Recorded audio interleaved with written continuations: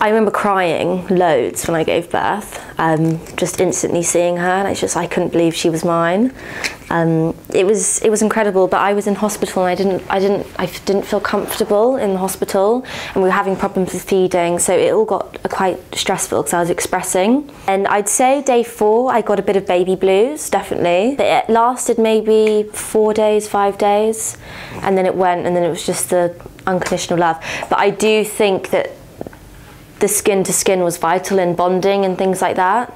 I think it is so important, and even just to spend that family time with no one else like surrounding you all the time. I think that's really important. Oh. Yeah, and then I carried on doing it um, until after she was born. I still do it now sometimes. Like we have bath times together and things.